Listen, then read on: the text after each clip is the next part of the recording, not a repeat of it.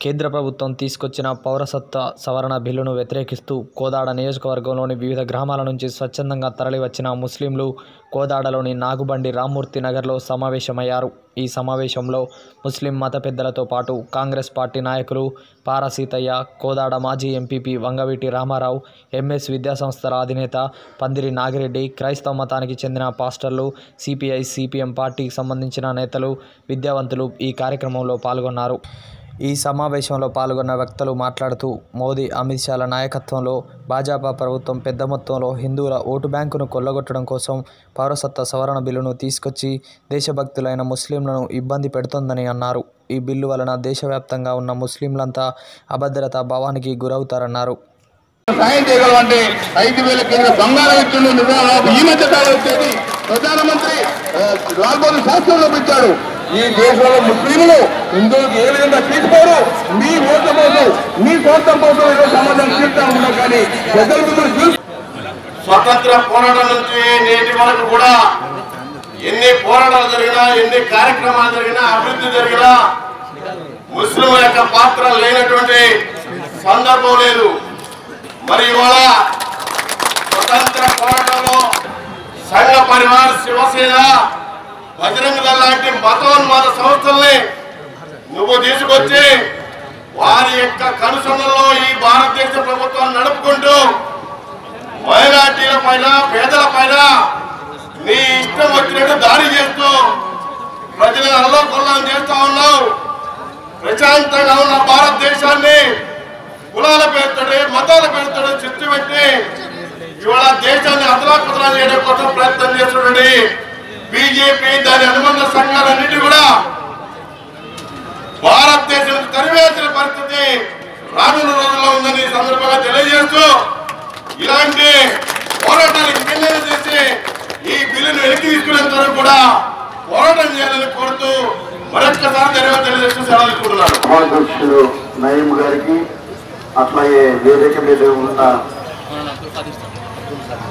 అబ్దుల్ ఖాదర్ గారికి వేదిక మీద ఉన్న ముస్లిం పెద్దలకు వివిధ రాజకీయ పక్ష నాయకులందరికీ ప్రత్యేకమైన వందనాలు తెలియజేస్తున్నాం. చాలా సంతోషం. ఈ రీతిగా ఐక్యంగా మనందరం ముందుకు కొనసాగడం అనేది ఎప్పుడు జరగాలి. నేను బషీర్ గారికి నేను మైక్ గారికి ఎప్పుడు చెప్తుంటాను అల్తాఫ్ హుసేన్ అన్నగారికి క్రిస్టియన్ ముస్లిం ఎస్సీ ముగ్గురు కలిసి ఒక కమిటీ వేయాలి. కమిటీ మనం చెప్పినట్టు నడుస్తుంది. ఈ కార్యక్రమం చేయాలని నేను కోరుతా ఉన్నాను. ఈ ఎన్ఆర్సీ బిల్లు తెచ్చారు మోడీ గారు అమిత్ షా గారు. ఇది మనందరం అనుకుంటున్నాం మనకేదో నష్టం అనుకుంటా కానీ వాళ్ళ కాళ్ళు కొట్టుకోవడానికి తెచ్చారు ఇది. దానికి ఉదాహరణ సరైన సమాధానం చెప్పారు. రేపు వచ్చే ఎన్నికల్లో కూడా భారతదేశంలోని పౌరులు అమాయకులు కాదు బహు చైతన్యవంతులు. కాబట్టి నెక్స్ట్ వాళ్ళ గవర్నమెంట్ పోవడానికి ఈ కార్యక్రమం తెచ్చారు. ముస్లిం క్రిస్టియన్స్ వీళ్ళని వివక్ష చూపుతున్నారు అసలు మాట్లాడితే భారతదేశం చరిత్రలోకి వెళితే ఈ భారతదేశం ఎక్కువ కాలం పరిపాలించింది ఎవరంటే ముస్లిం రాజు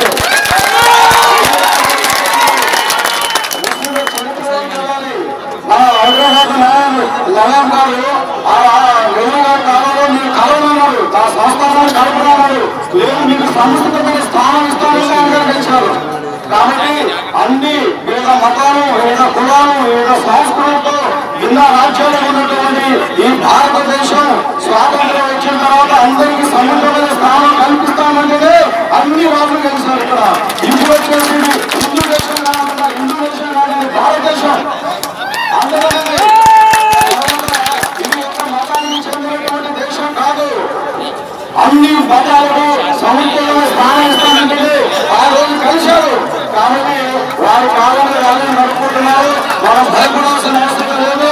వారు తిరిగి అందరూ బీజేపీ రాకపోవడానికి వారు ఈ ప్రయత్నం చేశారని నేను మనం చేసుకుంటున్నాం. కాబట్టి మనం భయపడాల్సిన అవసరం లేదు. ముస్లింలు క్రిస్టియన్స్ ఎస్సీ ముగ్గురు కలిస్తే ఈ భారత ఒక్కడే కాదు ఎక్కడే సరే గొప్ప విప్లవం జరుగుతుందని నేను మీకు జ్ఞాపకం చేస్తున్నాను ఈ ఒక్కరోజు ర్యాలీ చేసి దీన్ని వదిలిపెట్టదు అందరూ ఏ సమస్య వచ్చినా మన క్రిస్టియన్స్ ముస్లింస్ ఎస్సీ